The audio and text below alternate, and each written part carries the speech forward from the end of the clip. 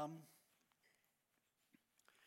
it is not unusual when you mention, when you drop Elaine Pagels' name, for people to say, her book on fill in the blank changed my life. Or, I really actually believe that that is the best book I ever read. She and her work, she is a trusted friend of mine, but let's bracket that and talk about her work. Her work actually oxygenated my intellectual, spiritual, and religious life when I was suffocating.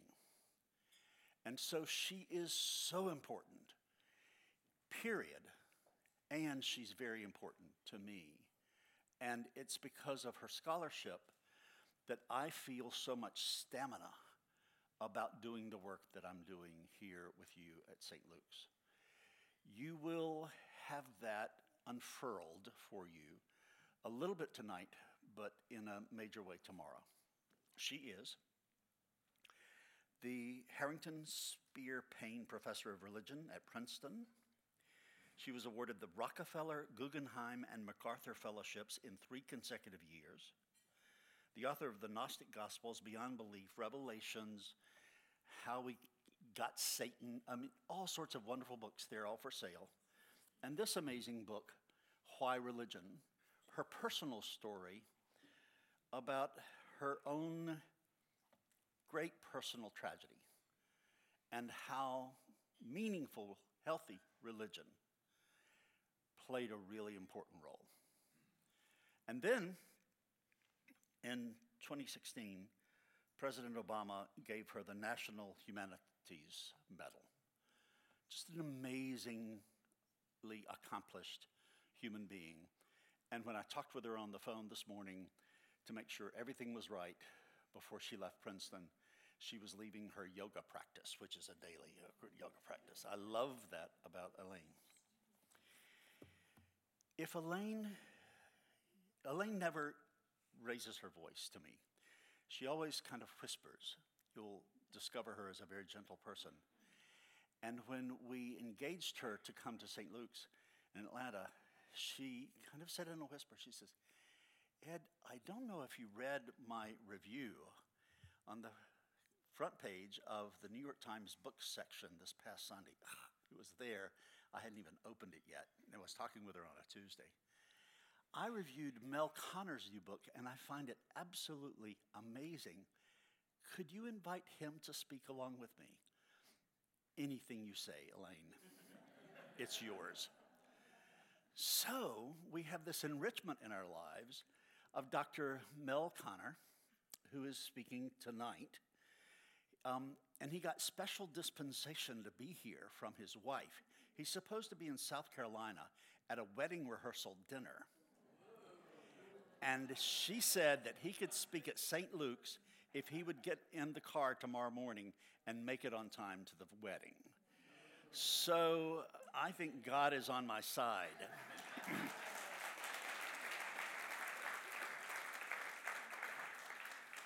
he is the Samuel Candler Dobbs Professor in the Department of Anthropology. Before he was a medical doctor, he was an anthropologist at Harvard, and Emory called him to ask him to come and start the first anthropology department here at Emory while he was in med school. He finished at med school and then came. And he is in the program in neuroscience and behavioral biology here at Emory, author of Women After All, Becoming a Doctor, The Tangled Wing, and this highly recommended book by Elaine Pagels called Believers. So, first, Elaine is going to tell you why she wanted him to be here as a kind of an introduction. He will make his major presentation about his work. Elaine will respond, and the three of us will have a conversation. So, now, will you warmly welcome Elaine Pagels? That's yours. Thank you so much. I'm so happy to be here to see Ed Bacon and, and Michelle and other very dear friends. And I just, I'll be very brief because I really want to hear from Mel Konner too. I was excited to read his book. It's called Believers. And because this book was addressing a question I'd been asking myself as a, as a historian of religion for decades. And that question is why is religion still around in the 21st century? Because I was brought up in a scientific family, and my father had, had dropped it completely uh, when he encountered Darwin, and religion was totally obsolete, and he was sure that it was absolutely uh, going to die out by the end of the 20th century. Now, that didn't happen.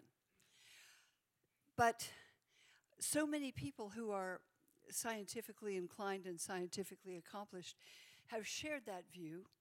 And here's a scientist who had a, a very different perspective that I wanted to hear from, and I want you to, so I'll be really brief. One of the things he does is take on what he calls the quartet of belligerent atheists. And you probably know who they are Richard Dawkins and Daniel Dennett, Sam Harris, Christopher Hitchens, who basically say that, that, that religion is kind of idiotic, it's irrational. Um, Richard Dawkins, by the way, when he was an undergraduate, uh, was an evangelical Christian. And then he sort of flipped and became an atheist. Okay, this, this is a pattern for some people. Um, and, and so, you know, the question is, um, and, and Mel Konner said, well, as you'll hear from him, I'm sure that, that he's not involved in religious practices of this kind now. Um, but he said, What strikes me is the persistence of religious belief he, and the conviction that it really is not dying out. I mean, you can talk about church attendance going down, but that's not the point. The point is, religious traditions all over the world are actually thriving in many ways and changing in many ways. So it's that persistence of religious belief he was trying to understand. And um, so he talks about it in this book in ways that I was really longing to have a scientist do. The way that uh, psychologist William James in 1912 and 1914 wrote one of my favorite books, The Varieties of Religious Experience, trying to find a sort of a science of religion. How do you talk about it as a scientist, as a psychologist, um, in various ways?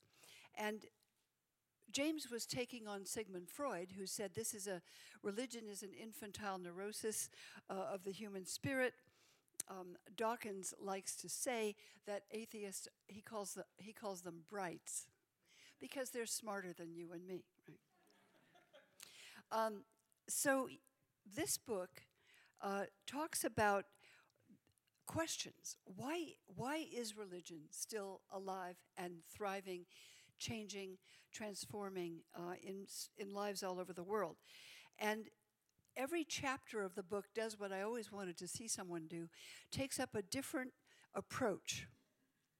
Uh, one of them talks about brain mapping and where in the brain you sort of religious uh, feelings seem to um, reside, if that's the case.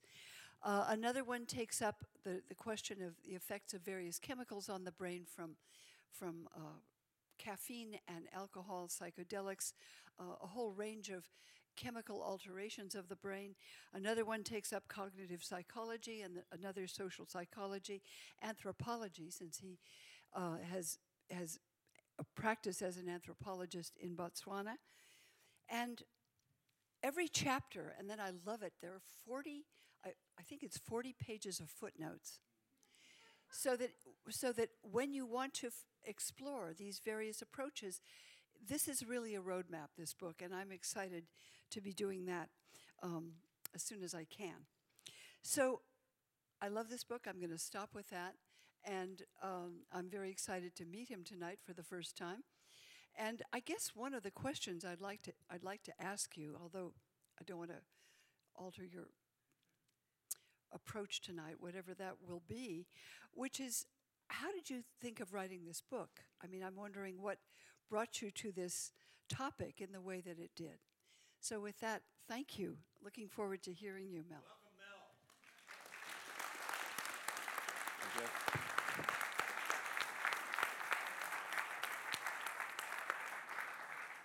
Thank you. So much, Dr. Pagels. Uh, um, I don't know that I can say this is the best book that I ever read because there is Shakespeare and Jane Austen and uh, Middlemarch, but it's one of the best books I've ever read, and it has made a tremendous impression on me, which has led me to uh, to take a, di- a different approach to tonight's talk than I would have if I had not read it.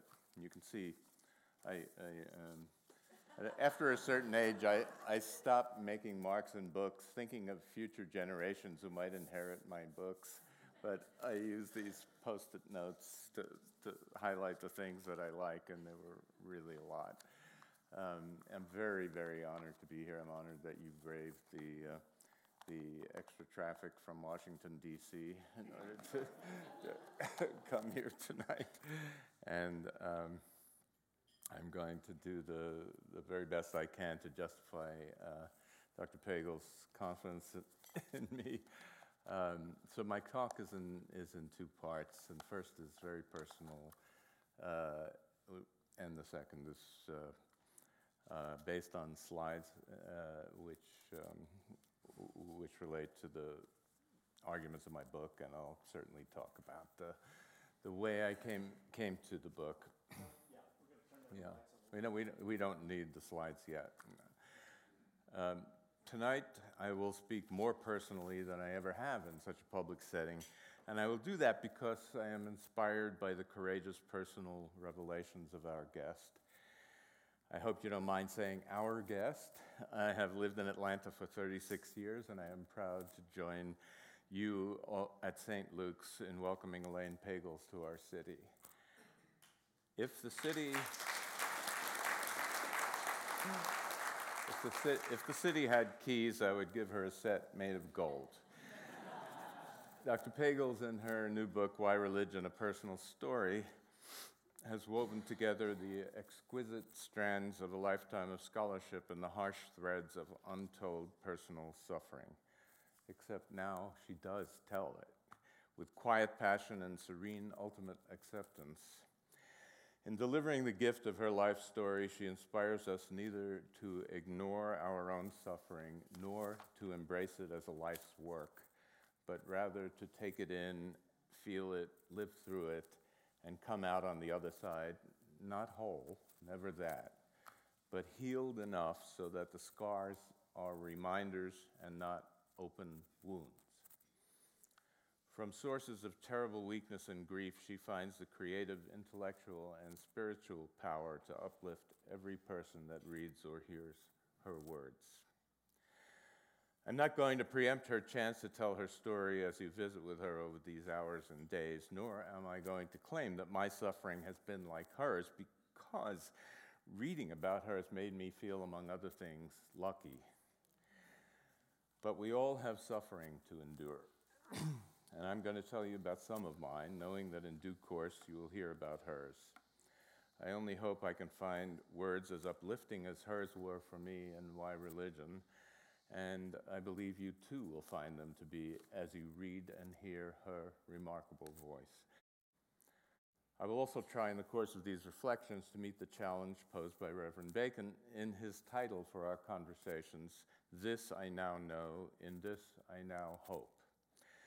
It will not be an explicit point by point credo, and yet I think by the end you will have seen key elements of what I know, as expressed in my book Believers, and what I hope, harder to define, but at least equally important.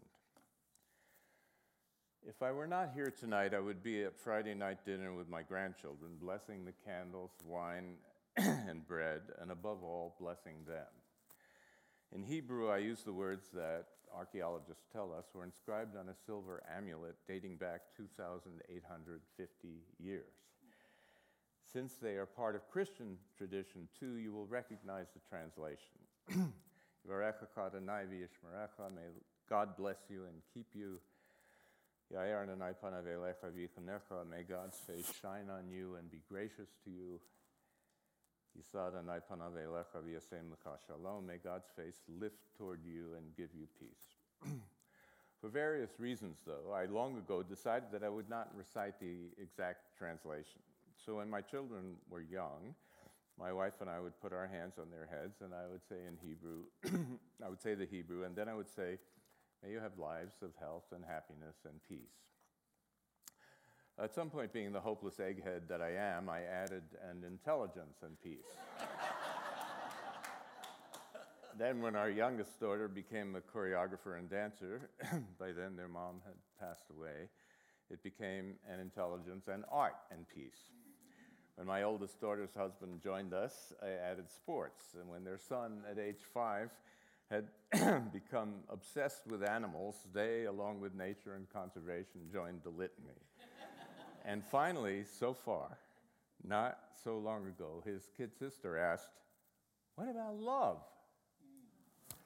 And after slapping my head in amazement at my omission, I now say, with all the grown ups' hands on the two children's heads, May you have lives of health and happiness and intelligence and art and sports and animals and nature and conservation. And here I pause to meet the candlelight twinkle in my four year old granddaughter's eyes, acknowledging our delicious conspiracy and love and peace.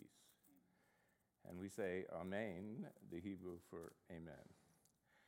Marjorie, their grandmother, was nominally Jewish, but shared none of my Orthodox upbringing.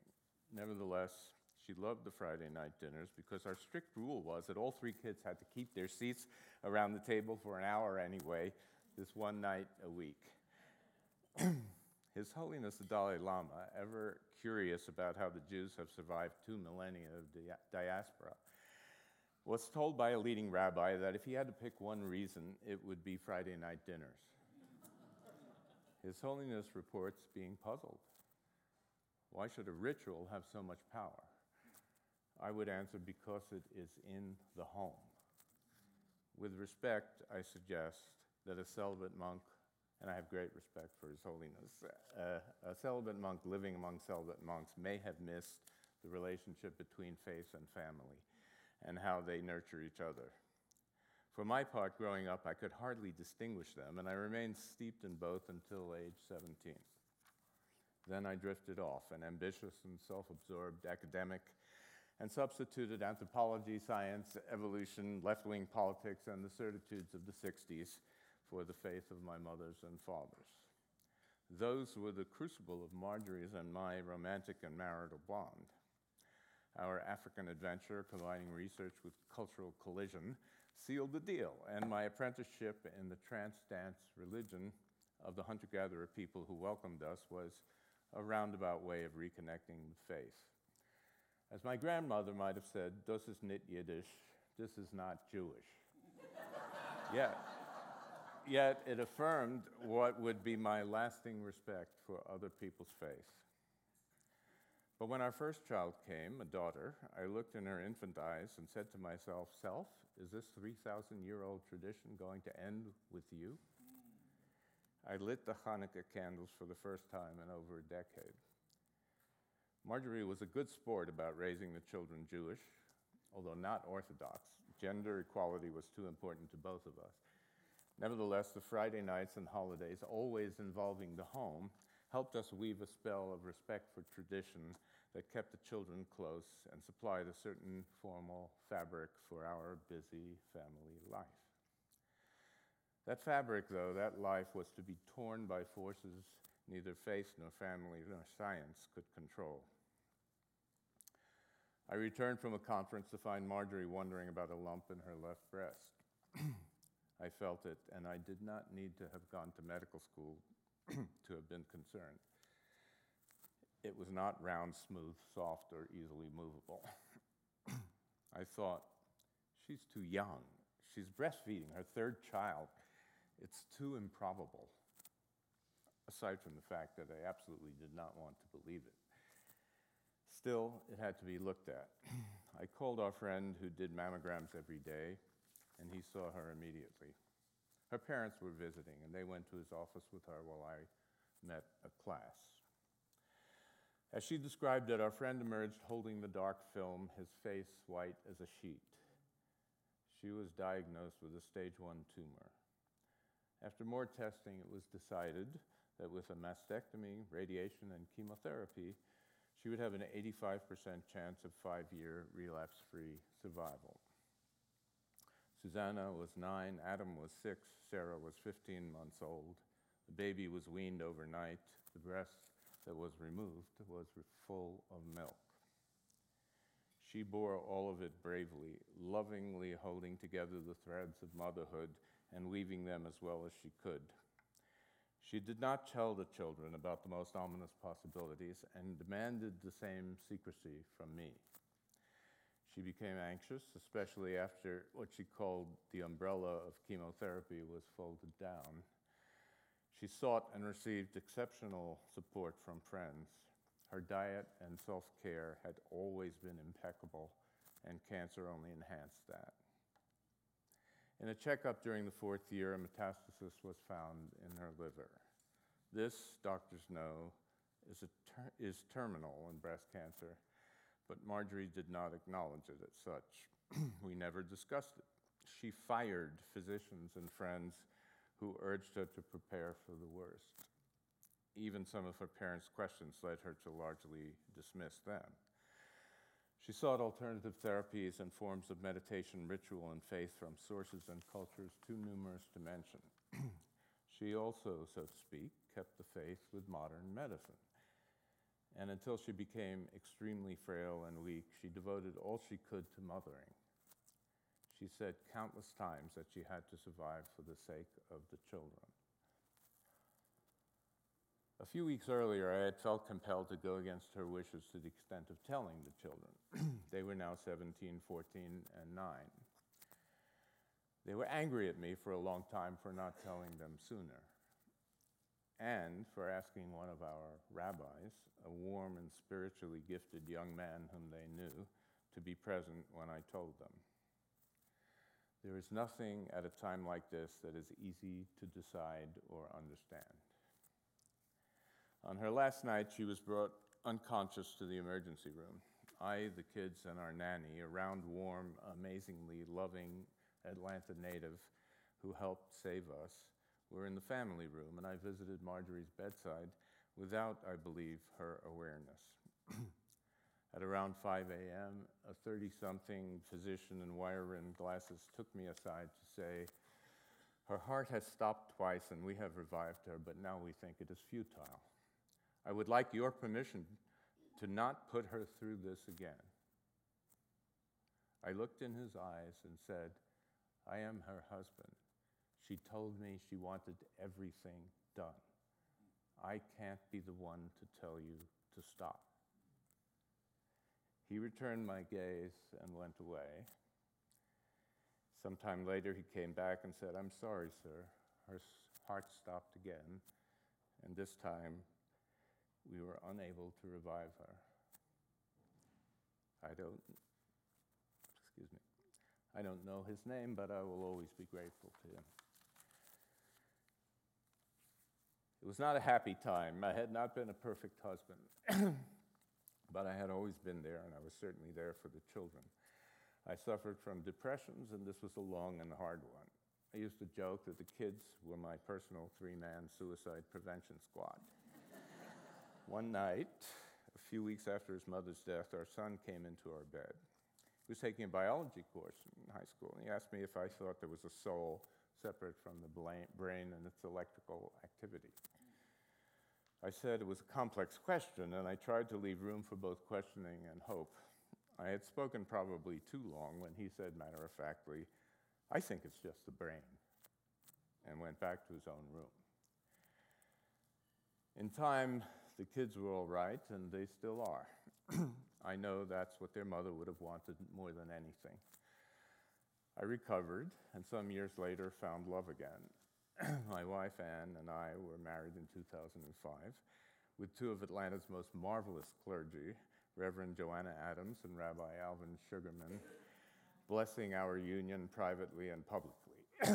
we just celebrated our 15th anniversary, and their blessings on our union have been realized. My children and I celebrated Christmas for the first time with Anne and her teenage daughter, Logan. and Anne supported our ongoing Jewish holidays and practices. Our nest emptied, and not to nearby places, But my oldest, who is here tonight, moved back to Atlanta and had both her children here. As I had been for my three children, I was present by invitation and from a corner of the delivery room for Ethan, Ethan and Hannah's births. Susanna deftly combines motherhood and law practice, and the Friday night dinners are precious. Her mother would be very proud of her and of our other children as well. When Marjorie was so ill and succumbed in the end to her illness, I can't say that I was heroic enough to truly wish that it were me. But I did think it could have been me. Why wasn't it me? And I have been asking that ever since. I felt as if I were living on borrowed time, and I have felt that ever since, trying to live every day. I also used to think at least it wasn't one of the children. And then one day last summer it was, or was the equivalent for me, when my grandson Ethan, at age seven, was diagnosed with a lymphoma. Now I did wish it were me. I used all my resources to make sure the treatment recommended at Emory, which I knew would be harsh, was right. Two top experts at Harvard, one at Yale, one in Israel, all of them, incidentally women, said, The people at Emory are great, and if you brought him here, we would do the same thing. His mother, my daughter, the lawyer, asked, Are you going to keep calling people until someone gives you the answer you want? Uh, she was right, and I stopped. We accepted the inevitable, anything needed to save this boy. She and his father were astoundingly resilient, and so was he. But it was harsh. I'll just tell you about one day. His father and I were in the room with him when he got chemotherapy, one of the most toxic agents, in his sleep. Suddenly, he sat bolt upright, crying and yelling, covered with a rash, and scratching himself all over. I sat down on the bed with him. He stared around at and through me with wide eyes, screaming, I can't see anything. I can't see anything. Hoping that it was just some sort of night terror, I, his dad and I helped him back to sleep. But it wasn't a night terror, it was a mistake. The drug vancomycin had been infused over two minutes instead of two hours. He had an extreme version of a known reaction, but the next time he woke up, it was just a horrible memory. The nurse who made the mistake came in with her supervisor, explaining and apologizing. I hugged the nurse. We were lucky. Susanna reminds me frequently how, how lucky we are compared to some other children on that ward. They have longer, harsher treatments at younger ages with no understanding of what is going on. Some get worse instead of better. Most parents have no medical knowledge or connections, only hope and faith. The nursing on that ward is almost uniformly superb, and the treatments are preventing countless deaths that would have been routine 30 years ago. So, in that sense, all of us are lucky. A dear friend of mine, a lovely woman disfigured by her cancer surgery, has two things to say. Cancer treatment is barbaric, and it saved my life. If I can distinguish here between what I know and what I hope, I know we are doing better than we used to. I know we are not doing nearly well enough, and I hope we do better soon. There is a Jewish mystical concept called tikkun olam, usually rendered as repair the world.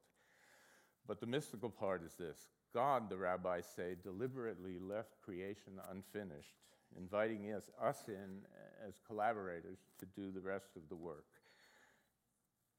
I have tried to do this in a small way through my children, my grandchildren, my students, my friends, my research, and my writing. I know, I know that is my legacy, and I hope it will make the world a slightly better place.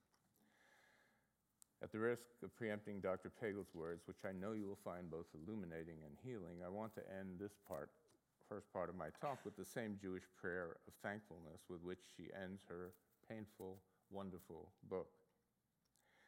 Blessed are you, O God, Shehechayanu, who has kept us in life, Ikiyamanu, and sustained us, Vihigiyanu, Lasman Hazer, and brought us to this time.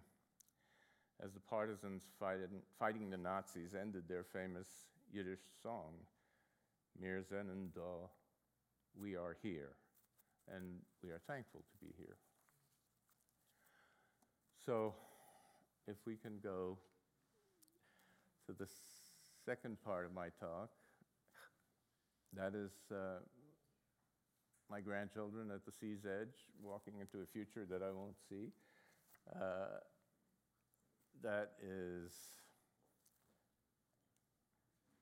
Ethan after his first, um, really first initiation into chemotherapy. Let's see if I can click this on. What did the triangle say to the circle? Heh. I just think you're pointless. Right, So this, just, just after he started chemotherapy, he's covering his head because he had his, a buzz cut that he, he- it took off all, all of his hair that he was proud of. But that, that, and then he went on uh, to lose all of it.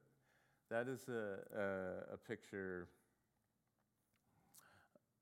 uh, uh, uh, taken on the last by, by Susanna his mom on the last day of, of uh, his hosp- last hospitalization, and uh, and that's Band Aid is where his last IV was. Um, this December 15th photo uh, shows my, my latest grandchild, my stepdaughter, and her wife uh, had a baby on December 15th, and he is there with his two moms. And there he, there he is uh, more recently. Uh, this is a Friday night dinner um, in January w- with uh, Ethan and Hannah um, exercising what they, uh, I suppose, think of as Sabbath peace with a bubble generating machine. Uh, this is Ethan on his way into the, the CT scans that were follow ups done uh, two weeks Our ago. scans are clear.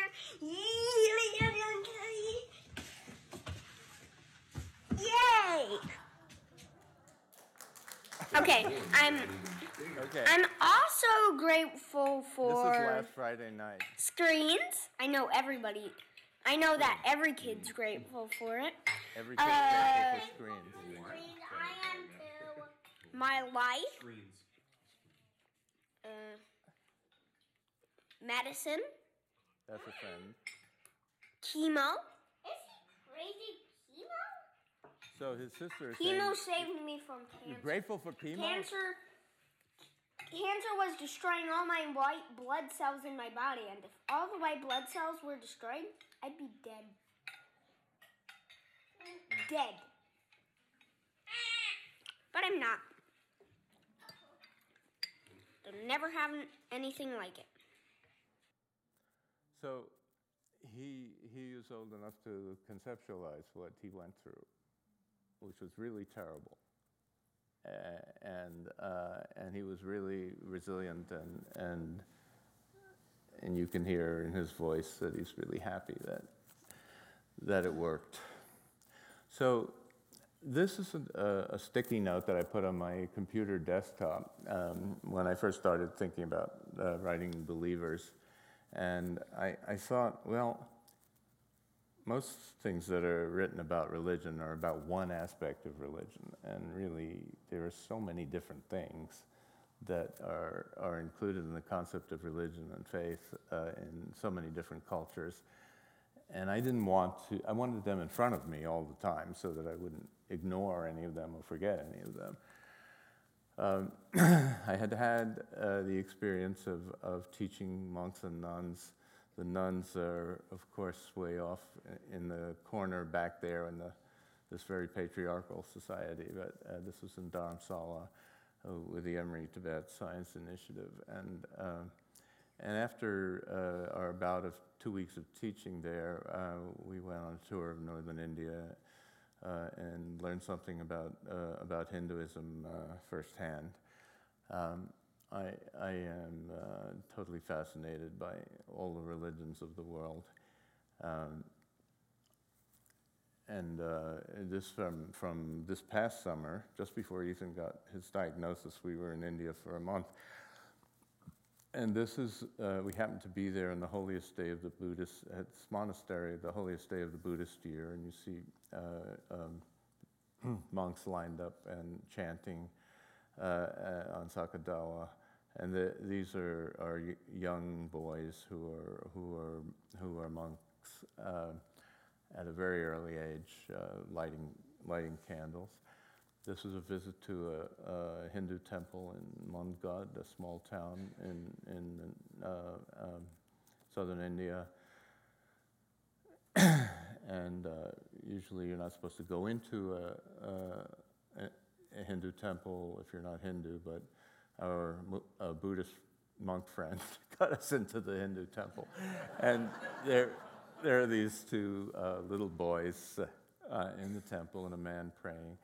Um, this is a, a beautiful mosque in, in the same t- little town of, of Mundgod and a, and a mosque uh, on the seashore in Kerala.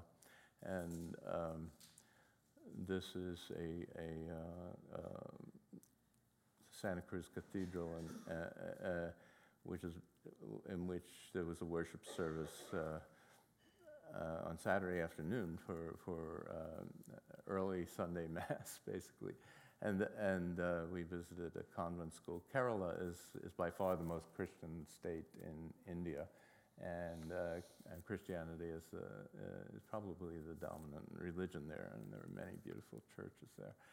Uh, and here um, we have a synagogue that has um, uh, become basically a synagogue without a con- congregation. It's more or less a museum in in place where Jews were in India in Cochin for for more than a thousand years, uh, and. Um, and there are active synagogues in India. Uh, for example, this one in Mumbai.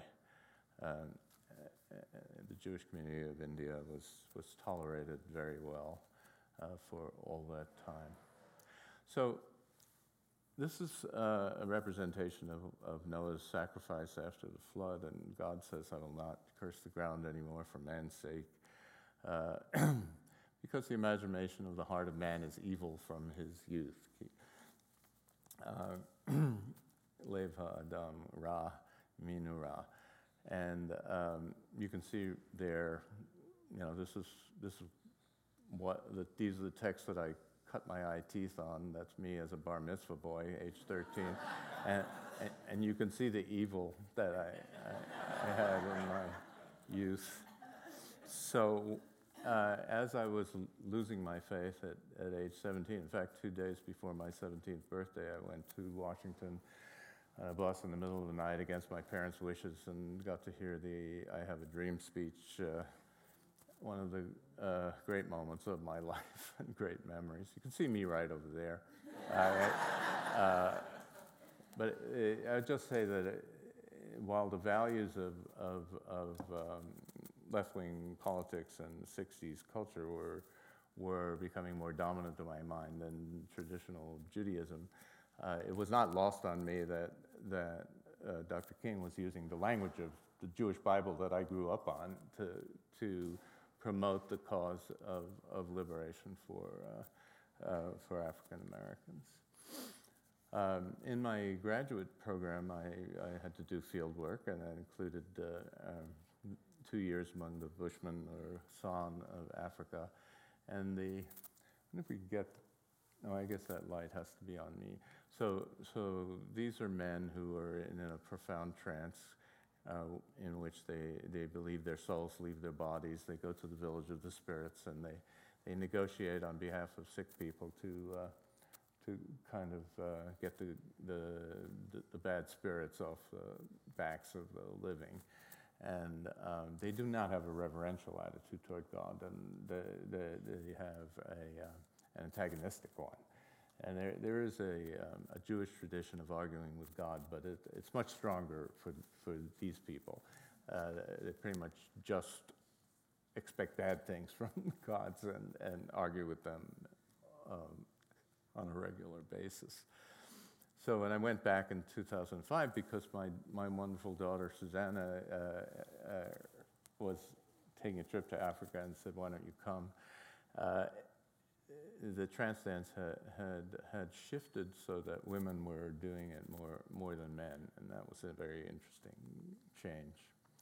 And and of course, fire uh, very important, uh, central of central importance in human evolution, of central importance in the evolution of conversations and language, and extending the day into the night, and also uh, ex- um, in in developing the idea of sacred. I can't think of a religion where where lighting candles or some form of fire isn't important.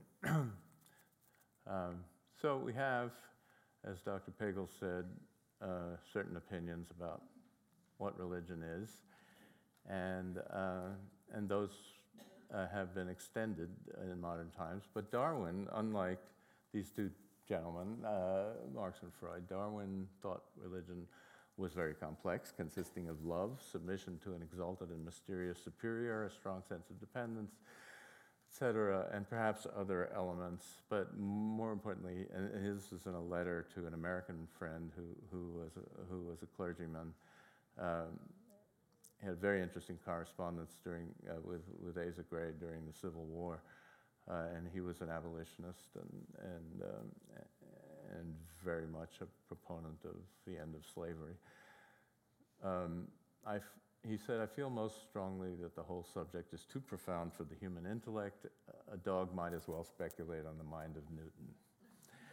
Uh, so then we move forward a few decades to what I call Russell's Rule, and abstracted from his various writings, uh, uh, this philosopher basically said it's better not to believe in things for which there is no evidence.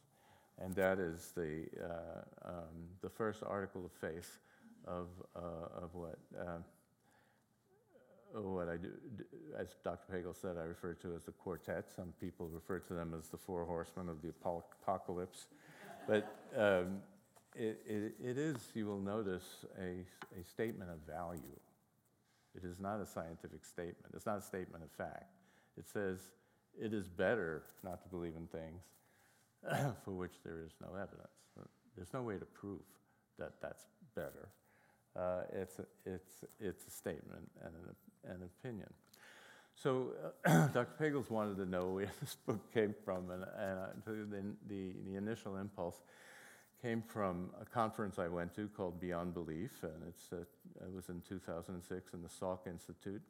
It was shortly after the death of Francis, Francis Crick, one of the, the um, people who, who uh, uh, worked out the structure of DNA. And, uh, and his uh, uh, spirit sort of, he was very anti religion, and, and, and he, he helped conduct a, um, an essay contest in England at one point in his career, uh, which they wanted to get the best essay on what shall we do with the chapels. And, uh, and, the, and the prize winning essay said that we should turn the chapels into swimming, swimming pools. To give you an idea of what Francis Crick thought about religion. Uh, and, but, but this conference uh, had some very distinguished people. Steve Weinberg, the Nobel laureate in theoretical physics, gave a, key, keynote address, and he said, The world needs to wake up from its long nightmare of religious belief.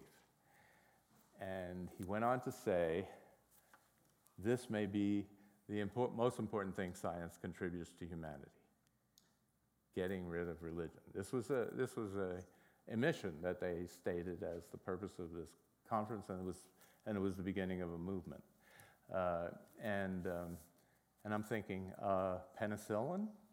Uh, international communications technology, uh, holding the, the whole world in the palm of my hand and my, uh, and my smartphone. I, the most important thing that science contributes to humanity, according to Steve Weinberg, is going to be eliminating religion. And at this conference, one of the members of the quartet was very prominent, uh, Richard Dawkins, author of The God Delusion. If this book, book works as I intend, religious readers who open it will be atheists when they put it down. All right. So, uh, speaking about uh, de- what a delusion is, if you look up the definition of delusion in the psychiatric manual, uh, you might think that it includes this statement, and, and this one too. The End of Faith is the title of Sam Harris's first book. The second one was called Letter to a Christian Nation. It was not favorable to Christianity. And uh, he says the days of our religious identities are clearly numbered.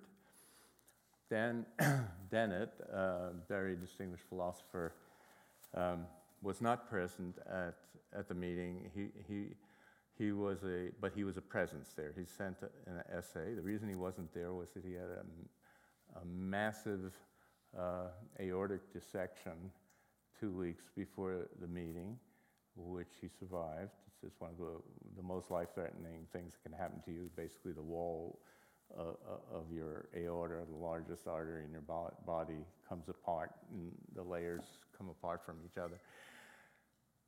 Uh, but he sent an essay that I thought, I thought was a good essay. I'll tell you about it later. But, but I, for one, am not in awe of your faith. I am appalled by your arrogance, by your unreasonable certainty that you have all the answers. This is one, one of the many statements that these people make that shows how little they understand about faith and people of faith. Uh, they do not understand the first thing about faith, even though the phrase leap of faith should be in their face all the time. And they should know that people of faith are always struggling with their faith. They're, they're uh, the, one, the, the ones who are arrogant uh, uh, uh, and sure of themselves are in the minority. And of course, Christopher Hitchens, not a scientist, but, but I think a great essayist, says philosophy begins where religion ends, just as chemistry begins where alchemy runs out and astronomy takes the place of astrology. Being, being a non scientist and a non philosopher, he had mostly rhetoric uh, to offer against religion. but, but it was very clever rhetoric, and, and, um, and he died of cancer. Um, uh, without knuckling under. You know, uh, W.C. Fields, the famous atheistic comedian of the 1930s uh, and 40s, said, I'll die without knuckling under. And I don't know whether he did, but Christopher Hitchens clearly did. Uh, and um, Rabbi David Wolpe, who is a distinguished Los Angeles uh, conservative rabbi, uh, had a series of deba- debates with him as he was dying and, and speaks very highly of, of uh, Christopher Hitchens, despite their diametrically opposed views. So, what are the arguments against belief? There's no evidence to support religious claims. Science has closed the gaps. What is called the soul is just brain activity. Religion has evolved just like any other trait. Religion causes violence, hatred, and war. This is very important. And religion is the opium of the people. God is the product of yearnings for a perfect parent, reward and punishment, companionship, meaning, life after death. And religion more generally is the product of human yearnings for identity, belonging, a sense of superiority, blameworthy enemies, and narrative. Furthermore, all sacred texts contain errors, lies, contradictions, highly implausible histories, silly and cruel behavior of gods and religious heroes. However, none of these objections is in the least way new all have been heard or thought of by most intelligent people. None has posed a serious obstacle to belief for the majority of believers. And it's, uh, one, one of the things about these kind of, of aggressive atheists is that they really think that people of faith have not thought about these criticisms of religion before. Uh, and uh, uh, that's another evidence, piece of evidence of their ignorance. Um, no, seriously, seriously, they don't know. They don't know anything about faith and people of faith. And furthermore, um, as I said in my talk at that conference, which was supposed to be about the evolution of ethics, but ended up being about, about why I didn't agree with these guys who had dominated the conference. Uh, they, they uh, if you wanted to do a scientific uh, approach to, to religion. And you, you know, open up your, your electronic document and you make two columns. You want to find out whether religion is on the whole bad or good. And on the one side, you put uh, bad things done by religion, like, like uh, attacks on, on people who, who, who cross themselves with three fingers instead of two. And, uh, and on the other side, you put good things done by religion. But these guys only have one column. And that's not a scientific approach to finding out whether religion is on the whole good or bad. So, how can it be that people of faith know all about these things uh, and, and continue to believe? And don't, don't read Richard Dawkins' book and then change their minds and say, oh, I guess I forgot. Nah, you know, uh, some religion, religious people have done bad things. now I know that, and I'm going to stop being religious. I, and the answer is, of course, that faith is something special in human experience. The assurance of things hoped for, the conviction of things not seen. That is the other opinion that's different from Russell's, that it's okay to believe in something for which there is no evidence. Uh, and, um, and it's a very important difference. Sam Harris says religious faith forms a kind of perverse cultural singularity, a vanishing point beyond which rational discourse proves impossible. Yes, that's what it does, Sam. get over it. All right. They can't get over it. Here's Dawkins in an earlier book that I happened to review for Scientific American. He says, I remember once trying gently to amuse a six year old child at Christmas time by reckoning up with her how long it would take Father Christmas to go down all the chimneys in the world. The obvious possibility that her parents had been telling false, falsehoods never seemed to cross her mind. So, uh, and he, he did not see in talking this six year old out of believing in Santa Claus.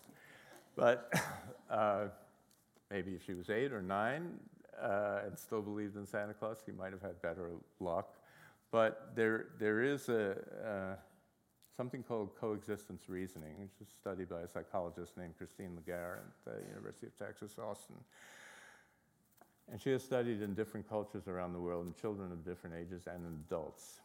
And here's what it is coexistence reasoning is you are a perfectly rational person. You live your whole life in a, in a, in a rational way, but there's another part of your mind that, that doesn't use the same tests of rationality and logic. And, and with that part of your mind, you, you believe in something that, that does not necessarily uh, uh, subject itself to, to rational proof and, and, and testing. Um, my wife, who is a, a Presbyterian, a, a scientific psychologist and uh, hugely uh, um, um, adept at statistics and, and uh, experimental design. And when, you, when I ask her um, how her faith works, she just says, I do it with a different part of my mind. That's coexistent reasoning, and that, um, that explains a lot. So I might answer that religion is natural to think because it's built into the brain at least many brains, influenced by genes, develops in childhood and evolved through natural selection. So those are the, the things that I, as Dr. Pagels said, I, I, I argue in my book uh, are, are the explanations for why, why I don't think uh, uh, that religion can be abolished, which is the goal of the, of the quartet and, uh, uh, and the aggressive atheists.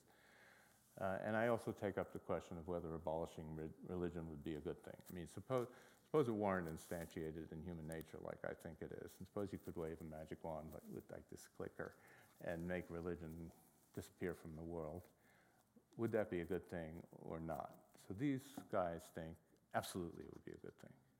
It would just cure everybody of, of their, their illusions, their unscientific illusions, and it would put an end to violence. And, uh, in, my, in my presentation at that meeting, I mentioned uh, the Nazis, who, which was not a religious movement, and Stalin, who was not, you know, leading a religious movement and Mao, who was not leading a religious movement. And uh, the, you know, you don't have to have religion to, to, to do mass murders, turns out, uh, and, and, or any kind of murders. But um, it's an open empirical question. And, and Daniel Dennett, come, the philosopher, comes closest to, to uh, understanding this. It's an open empirical question w- whether religion on the whole does more good in the world or more bad. And uh, my reading of the evidence is that it does more good, uh, a lot more good. And, uh, uh, but, but, um, but it is an empirical question. Uh, the question uh, can, can, can, religion, can their goal of abolishing religion be realized? Uh, uh, to me, is, is answered. It's some, uh, something I feel I know. It cannot be abolished because it's part of human nature. so, Elaine mentioned uh, William James, uh, a variety of religious experience. He, he's, he, he's a medical man. He's talking about medical materialism and said geniuses in the religious line have often shown symptoms of nervous instability, led a discordant inner life, and had a melancholy, had melancholy during a part of their career. They've been liable to obsessions and voices, seen visions, presented all sorts of peculiarities which are ordinarily classed as pathological. So, no, this is, this is something that somebody like, like Harris or Dawkins would look at and say, okay, so give it up. I mean, this is what it really is. It's just mental pathology, brain pathology. William James is a trained physician and the founder of scientific psychology. And he says all this, and then he says, so what? Uh, and uh, he thought that faith could be explained by brain science and psychology, but not explained away. and that's what I think too. um, so, one of the things I can only tell you a, a, tad about about the brain investigations of religion. This guy Michael Persinger thought he had discovered the the the God spot, and that's the God helmet on the right there. Uh, stimulating the God spot. If you put your your fingers between your ears and your temples, you'll be pointing at the temporal lobes, which are uh, where the God spot is supposed to be, and um, he, he used uh, uh, almost superstitiously weak magnetic stimulation to, to get the effects that he claimed to get. Um, yeah. Uh,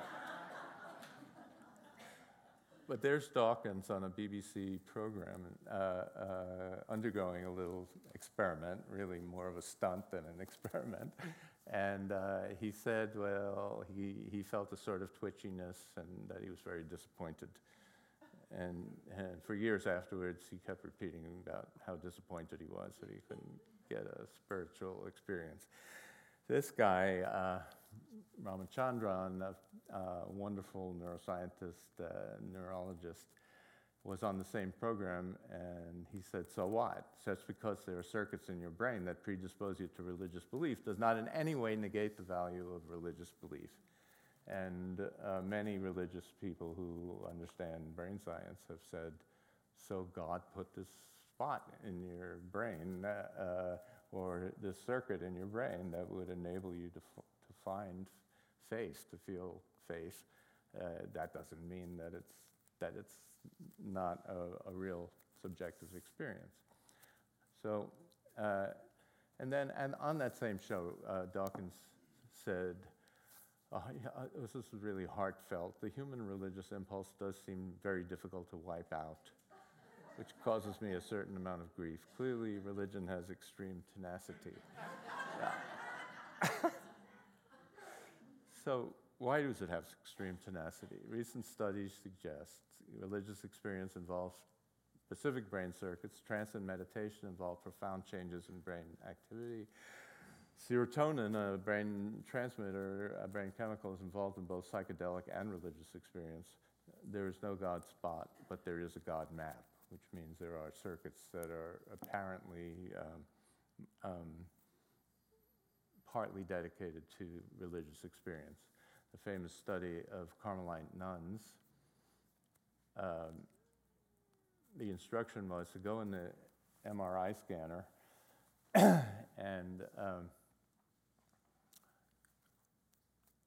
and think about or try and remember the most profound experience of God that of your relationship with God that you've had since you joined the convent. Uh, and then with random variation in order, go into the scanner and, and think about the most important uh, experience you've had with a person during, your, during the same time period. And, um, and the nuns didn't say, Are you kidding me? They actually just participated in the experiment, and, and there was a difference between the circuits engaged and the, those two conditions. So the claim that, that your relationship, that their relationship with God is just uh, uh, another uh, relationship with a, with a person is not true. There, there's evidence that um, from, from study by Sam Harris, which he did after he wrote The, the End of Faith, uh, that um, um, when people are in a scanner thinking about um, th- the statement, uh, eagles really exist, different uh, brain circuits are activated than when they're thinking angels really exist. And so on with prayer and meditation and all kinds of different uh, um, um, aspects of faith that, uh, that have been studied. And I won't get into the weeds, but I'll just go, to switch to the, um, the uh, other way of looking at the brain, which is uh, the chemical way. So mind altering agents are used in many religions as peyote, fly agaric, uh, uh, alcohol uh, in, in, in uh, ancient Greece and Egypt and, and even Judeo-Christian tradition, um, uh, cannabis in Hindu tradition and, and uh, nicotine in American Indian religious practice. All kinds of plant plants that have mind-altering substances in them have been used to, uh, to, to enhance religious experience. And, and um, so here, here's a lovely, uh, part of a lovely hymn that, that the Huichol uh, Indians of, of Sierra Madre in Mexico um, sing when they go on their 300-mile round trip to, to collect peyote uh, annually. We, we came on this trek to find our life. We are all, we are all, we are all the children of a brilliantly colored flower, a flaming flower, and there is no one, there is no one who regrets what we are. So this is incorporated into their deepest uh, religious experience. And um, the other thing I want to tell you about that is that all, all the, uh, the plant substances that, ha- that are in the category of psychedelics stimulate the brain's uh, serotonin neurons. That's a, a, depiction of the serotonin neuron. And when you look at religious people compared to non religious people, um, there are also differences in that same serotonin system that without, without psychedelic agents op- operating. So that's another way of gaining insight into how the brain does this.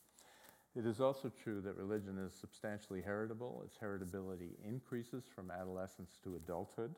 I don't want to ex- explain that, but that's an important concept. Uh, people think that, that the older you get, the farther you should get from your genes, but it doesn't work that way uh, in most traits. Uh, and specific genes are under study.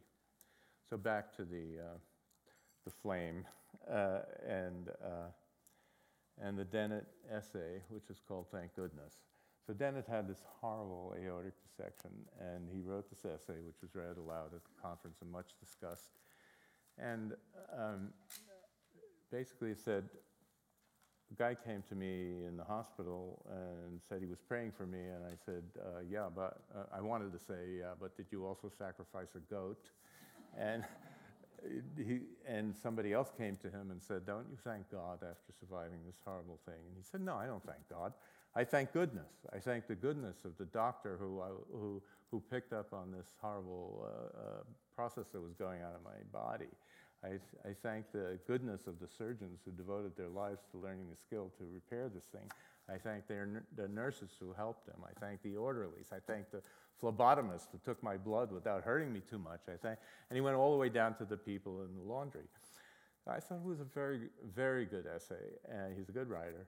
And I, and I came home from the conference, and I said, I, to my wife, my wife was in bed. I said, uh, you know, take, take a look at this. It'll take you five minutes to read. She, uh, she read it, and she threw it across the room. And I said, you know, I said, what was that? I mean, she's a Charleston bred lady. I never saw her do anything like that before.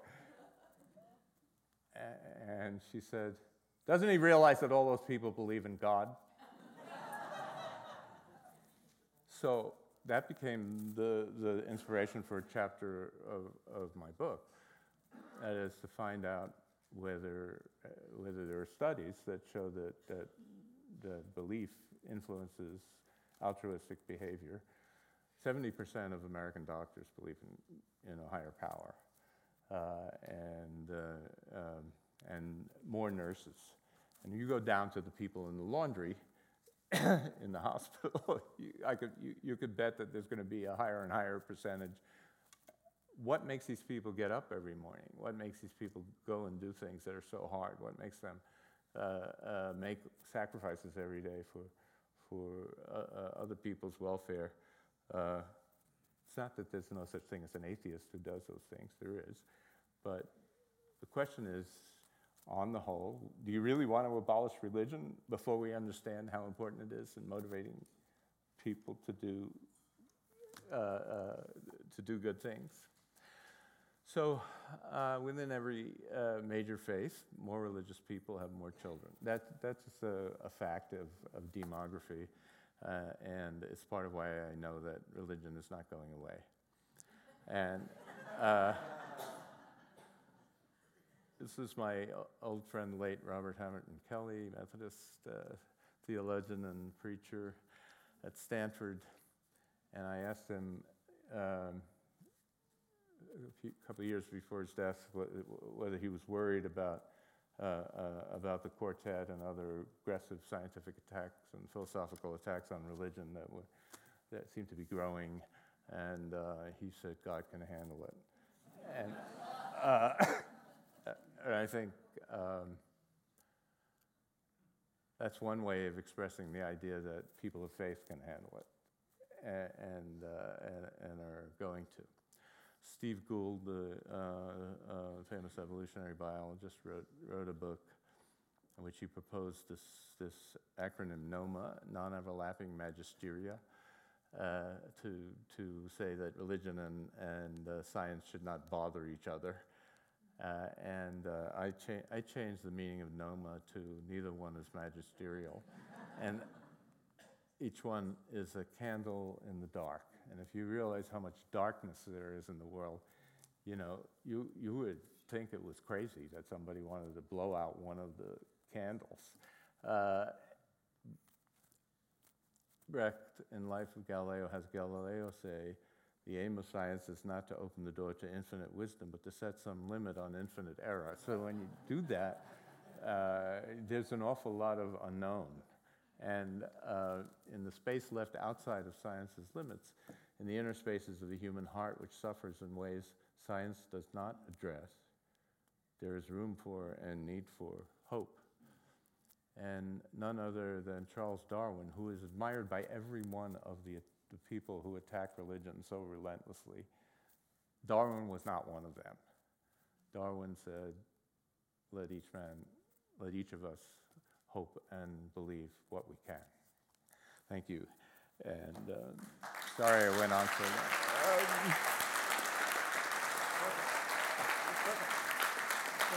Let's come sit down over here. Okay. Okay. I'm, I'm going to bring your mic. Okay. Good. Mel, would you like something to drink? Where do you want me? Yeah, just right here is great in the lane if you'll be there. I did it. And this will be for you, and you can put it there if you don't, if you want. Yeah, okay, perfect. So my idea was that there would be a conversation between the two of you, and then we would open it up to everybody, and then we would go home and get some good sleep and come back and learn some more tomorrow morning. So, Good. Well, thank you very much. I'm, that Thank you for wonderful. listening. And you know what struck me particularly um, is that the images you presented were images of temples and rituals, Indian temples, Buddhist temples, synagogues, churches. Um, you're talking about practices. That is, prayers, rituals, songs, chants, um, what, birth rituals, adolescent rituals, marriages, burials, all of those things. And, and then when you're talking about belief and, and you know, the quartet, um, they're not talking about practices. They're not talking about experiences. Um, they're talking about belief in six impossible things before breakfast. You know, Right. um, Alice in Wonderland, whatever. Um, you know, the question of do you believe in God? I mean, it becomes a question of believing in, in abstractions or believing in um, phenomena which you can't prove. And I just think there's been an overdose of belief in the way people talk about religion because they're so much influenced by Christianity. And Christianity is just one part of a very wide spectrum. And, and before the fourth century, it wasn't just a bunch of beliefs, it was called the way. It was a, it was a way of life, it was shared values. Particularly, it was about ways of treating people. And, and it was a, a ways of celebrating, it was ways of having a community uh, with shared values that were mostly about how, how to create a society which is deeply respectful and humane. Um, and, and I just think we lose a lot of that when, when people focus only on belief. And I was thinking of Steven Weinberg, who you showed. yeah, I remember at the beginning of his book, the first three minutes, Steven Weinberg says, he's the one who won a Nobel Prize in theoretical physics, now at the University of Texas. He was at Princeton before. He says, the more we know about the universe, the more we know it is pointless and meaningless. Well, you know, he pontificated. It has nothing to do with physics at all. I mean, it, you know, there's, there's a total non sequitur, like so many of the other statements that these people make. So, I guess, like you, I, I'm most interested in this, the questions of religious experience, because, and I'll stop here. Uh, William James wrote this book, you know, describing such a wide range of religious experience. And in that book, he disguised his own experience. You know that, I'm sure, right? He wrote the book because he had fallen into a crippling depression. And he, he was unable to think how, how do people get through the day knowing what we know about death? And he says he came out of it um, by, by holding on to, to phrases like, the Lord is my shepherd, or things he'd heard in childhood. He said, sort of like a drowning man grabbing at logs in the water, right? And he said he didn't believe in them particularly, but he held on to them, and, and somehow he got out of the, of, of the depression. So I think that is such an important point you make, and about, and, and the, the images you showed are so much about practice. And I was also very much interested in your experience in Botswana and, you know, how religious practice is enormously powerful. So that's just a comment that I wanted to. Well, that, that, that's, Say- that's great. Um, I, I um, start, start with the last thing first. The, the, um, the Bushman um, religion, um, which, which certainly what I would call it,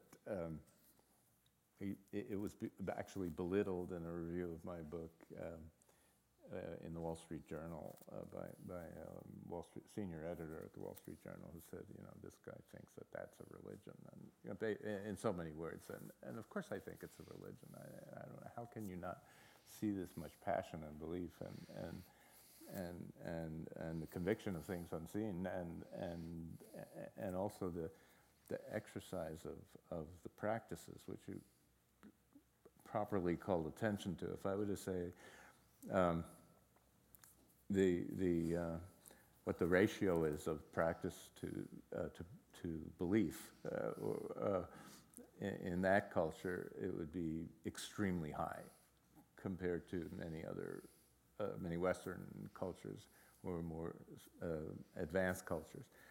Um, furthermore, when you study the beliefs of people in a culture like that, there's no dogma because there's nothing written, and nobody can enforce a particular set of, of, uh, of beliefs or challenge you if you, uh, if you depart. So you, you, you can, even these, these different people who go, who leave their bodies and go to the world of the spirits come back with, with different descriptions there's a ballpark, you know, as a population of, of gods and spirits. There's a, uh, an idea of the village of the spirits and, and the road to the village of the spirits.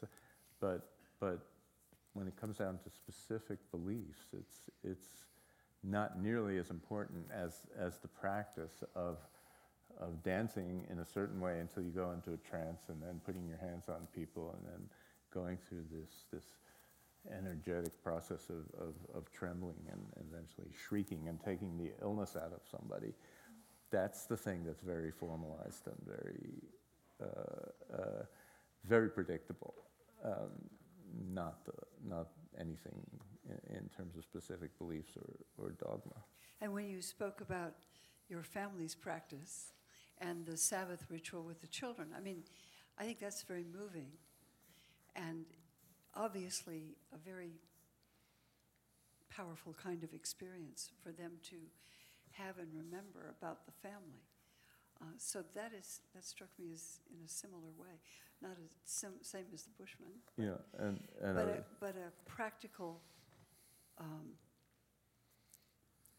connection. I mean, I don't know how to put it, but it's a ritual. It's a, it is a ritual, and and um, and I, th- I, thought it was very interesting the, the, the Dalai Lama's description of his his puzzlement. It's in one of one of his books that I read. Uh, his puzzlement that a, a ritual, that ritual should matter so much, uh, and because he's inter- he's interested in how people survive diaspora because his people are in a diaspora, and he, you know, that that's one of the reasons he interest, he's interested in the Jews. Uh, um, it's not it is a ritual, but it, it, it, it's in the home, it's in the family. It's, it's, it's a thread of, of religiosity and, that, and practice that goes through the home and the family. Uh, I am sure that Christians have uh, um, Sunday dinners that, that have many of the same characteristics, um, but you could not, uh, uh you could not sustain uh, a, religion without it being uh, interwoven with families and, and with certain things that you do at, at home. And, and you know, it's deliberately showed all, uh, all those different religions whose institutions we visited, uh, uh, whose architecture we saw in, in India this summer, um, I made a point of showing children because that passing, passing the tradition on to children is, is not incidental, not peripheral to the uh, enterprise of, of faith and, and, and religion. And so children come into the, into the world with an openness to, to faith and, and, uh, and hope.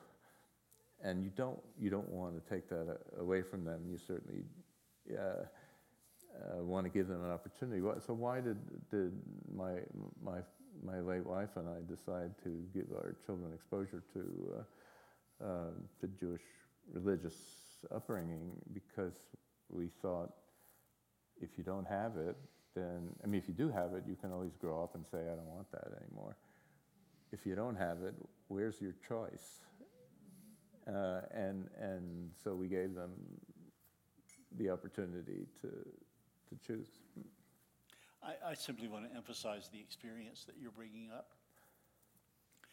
I, like Elaine, was very, very moved as you were talking about the Friday night blessings of your children and your grandchildren.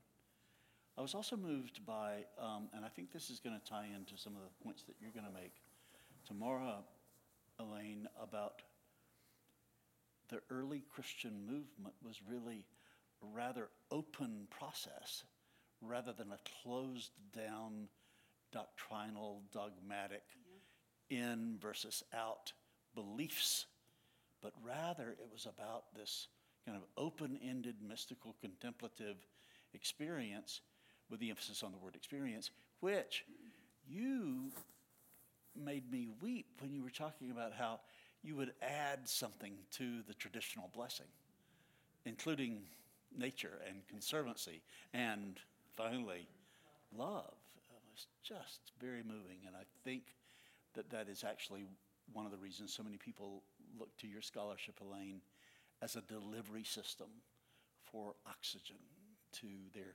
closed down churchianity of saying you have to believe this rather than focusing on the experience. Yeah, I think many people um, deny themselves, I was going to say, um, the experience of, of worship, prayer, singing, uh, all of that because just because they're being honest. I don't I don't accept the creed, you know. That, that they think, do I believe that? Not really. And so they think that's what it would mean. You have to believe that. You have to mean every word of it. Um, there's a, I go to a church in Princeton with a priest who said in a sermon that he would rather say the 23rd Psalm than the creed. And somebody at the Presbyterian seminary across the street reported him to the bishop for heresy. Oh, my. Well, we laugh too. but some people don't. And that's unfortunate. It is. but maybe we should just open it up. Yeah. I think so. Go ahead. No, go ahead. I'm going to ask for. say, I, I, I, uh, you know, I go to synagogue a few times a year, and I go to church with my wife a few times a year. Um, the, the, uh, I'm, uh, I fast on Yom Kippur, the Day of Atonement, and, um, you know, I go in the evening at, at the end of the day, and, and I'm told that, and we're all told that the gates of heaven are closing, and this is our last chance for repentance before the gates are, are closed. And I'm looking at these hundreds of people around me, and I'm wondering how, how many of them literally believe that? How many of them literally believe it's the last chance for, for repentance? And yet, and I, and I don't know how many, I'm sure some do, but probably not most. When I'm in the, the, service I find most moving at, uh, my, I go to, my wife belongs to First Presbyterian Church, and, and uh, the Easter service is, is, is very moving to me because of the, the theme of, of hope. And uh, it's, about, it's about hope, uh, and it's about um, triumphing over the fear of, of death that we all have to live with in, our- in our lives. Uh, I'm looking at the, you know, 2,000 people around me and thinking, how many of these people literally believe that Jesus rose from, from the tomb after being dead for three days? And, um, and I'm thinking, it doesn't really matter how many of them do. It, it matters that they share in the, in the power and meaning of the story and the, and the hope that they get from, from the shared experience. Uh, so that, that's like what uh, you were saying, Elaine, about, about the um, not necessarily believing in dogma uh, in order to have a, a religious experience. And our, our, our being here during the season of Lent is actually an experience. It is a journey, and we're going toward Easter. And it's not so much that Lent is about kind of getting your dogmas right, but rather getting your experiences rich. And that's what that's why people, this many people, have come through all that traffic to, on a Friday night after a busy week to fill this room, to engage you all.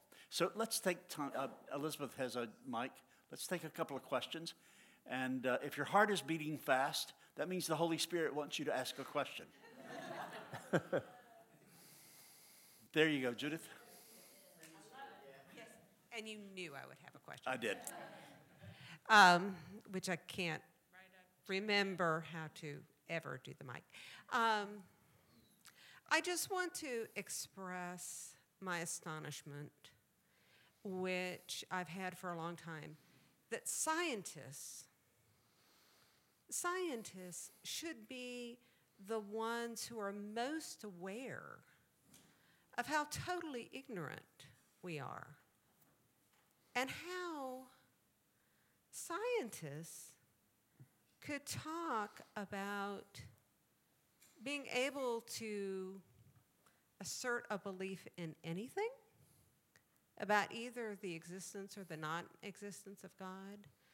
And, like, one of, to me, one of the beauties of religion is it celebrates our ignorance, our brokenness, how it lets us be totally honest about how limited we are, which should be one of the first things that scientists are aware of because the scientific method is about doubt and about making just developing evidence about theories. And I just wanted to Thanks. hear your Response? response to that. Well, well, so uh, Einstein, who was not always kind to religion and faith, uh, um, did say uh, the most beautiful thing we can experience is the mysterious. It is the source of all true art and science.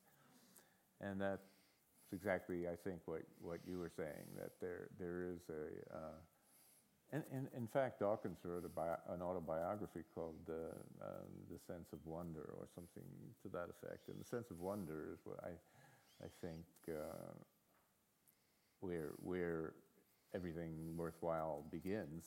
Um, the trouble is that, that these scientists uh, uh, try to close, close down uh, the, the, the thought processes of, of other people, which go in a different direction from, from theirs. And in that sense, they're, um, to me, they have a lot in common with, with religious fundamentalists who can't tolerate uh, uh, other people's religions, the way uh, um, millions were killed over, the, over, over Martin Luther's statements about Catholicism, the way uh, millions have been killed uh, over the differences between Shia and, and Sunni uh, beliefs. Uh, this, these are, are uh, the opposite of the searches that I think we should, we should be on, whether in science or art or, or, or religion. Elaine, did, did you want to Well, you know, I, the more I've been, I've been thinking about it, um, I'm very struck by um, the way that, well, in your book, you're talking about people who think that the whole brain is about rationality, or the mind is about, ra- or our experience is about that. I mean, when I th- when I was writing about the Book of Revelation, it's not my favorite book, but but it's been very powerful in the culture. And very powerful also for artists and musicians and filmmakers and um, poets. I mean, it's, it's got an amazing cultural afterlife. But also, it's been very effective in war. And, and, and that's why I was writing about it at the time, because it was used by George Bush uh, when he was going into Iraq um, to promote the war. And, and what the point of saying that is that what I see so much of the power of religion is about emotion. It's about dealing with our emotional life. It's not about rational thought, primarily. At least it isn't for me. One more question? Melita, please. Since both of you are fans of each other, how, how would you each best summarize what you admire and appreciate most about the work of your colleague? The work of, Of your colleagues, Uh, of one another. Well, I, I really I think love the questions you raise. it. I love the questions you raise and, and the openness to those questions. I mean, um, in the book, and then, you know, many questions, many approaches, and then the fact that you, like Darwin, say there's no single answer. This phenomenon of religion is not just a matter of emotional comfort or social bonding or, you know, easing the fear of death. I mean, there are many things you can adduce as reasons for that the phenomenon of religion is, is important in human culture. But you don't take a single answer because there isn't one. I mean, there are probably many, and I really appreciate that. Well, I mean, I mean, how much time do you have? Uh, I, Oh, I have a lot. I remember uh, being, being at a, uh, a small conference uh, that Dr. Pagels spoke at and I spoke at the, uh, in the 1980s about rage, power, and aggression. And, and um, I just, you know, I still vivid in my imagination how eloquent she was. I al- always have admired her eloquence and, on the page and in, and in speech. Uh, but also her, her, her honesty and, uh, and openness in, in approaching the scholarly, very difficult scholarly problems that she's focused on. And, and um, never more than in this book, uh, I, I think, which is the most personal of her books, and, and, and um, which, which weaves together a lifetime of thought about what what Christianity me- means, what it, what it meant in its earliest stages, what it might have meant if it had gone in a in a different direction uh, from from the canonization process that that that uh, um, uh, that actually took place, the role of women uh, in in uh, early Christianity is, seems to me as a, as as an outsider to be critical because uh, not only was, Roman culture uh, a severely patriarchal, uh, Greco-Roman culture, but uh, uh, at that time, the Jewish culture was severely patriarchal, and and uh, and Elaine has illuminated the way that women opened up the the the way people thought about about God and and and worship and practice, uh, and in a way that was that was automatically more inclusive because it added half the human race, and uh, uh, but also the the idea of focusing your life uh, on the texts that were excluded from the canon, and saying you know, what is, what is here that is worthwhile? What, was there something here that, that, that the people doing the canonizing, uh, who are all men, uh, maybe were a little afraid of? Uh, the influence of, of mysticism, the influence of, of, uh, uh, the, the, the, the kind of uh, religious, ex- you know, sometimes extreme religious commitment associated with the Essenes and other, others who were peripheral to the to both Judaism and Christianity uh, at that time. I, I think. I think that that that uh, Dr. Pagels ha- had a an amazing opportunity at the beginning of her career to to um, give these, interpret and give these texts to the world for the first time. And she made great use of that in, in the half a century of, of her work. Thank you. Yes. Thank you. So I have an idea about, an, about closing with an experience. Um, it's been so rich. Thank you. Anybody? Thank you. Yeah.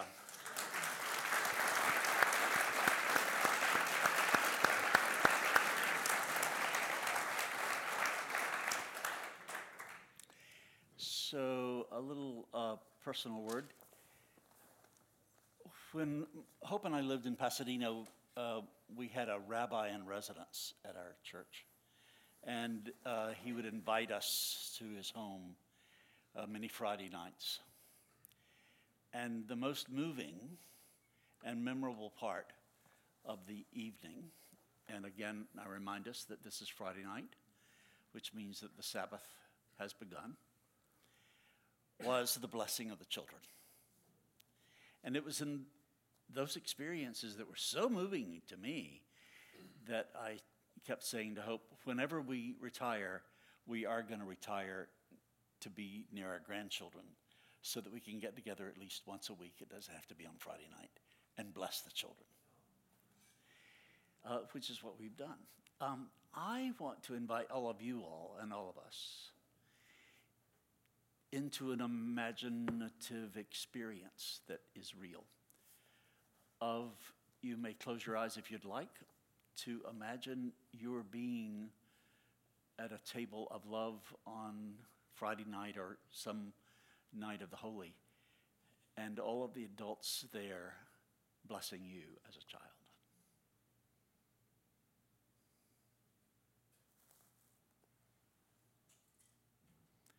And simply let your heart desire the deepest blessing you want to have right now in your life.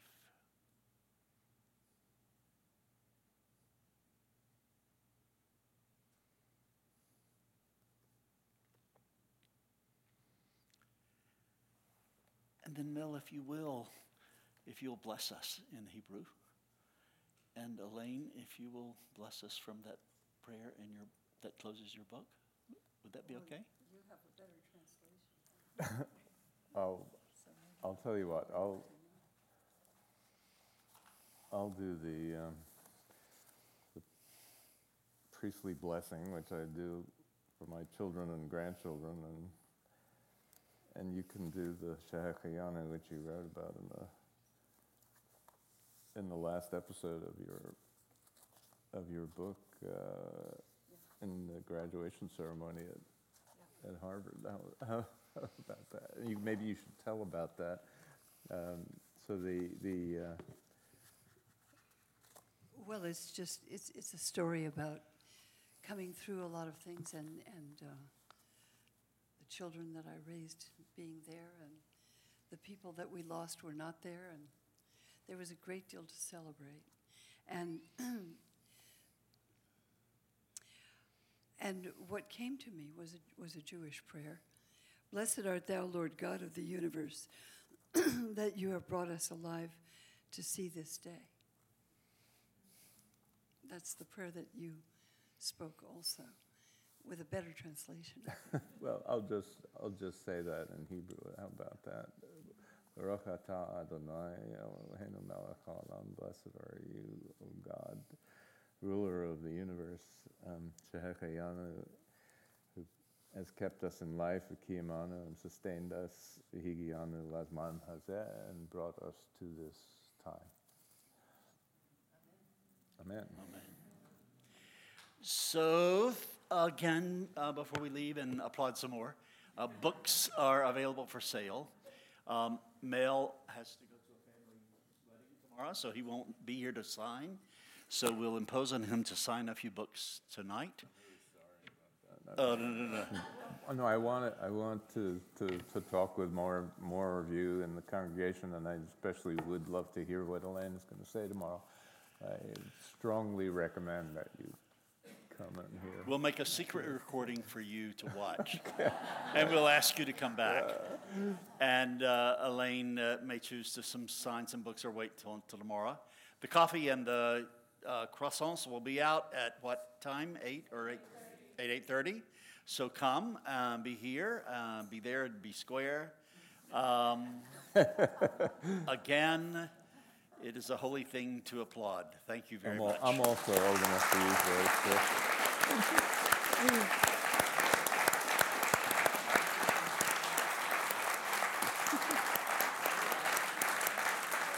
we are adjourned.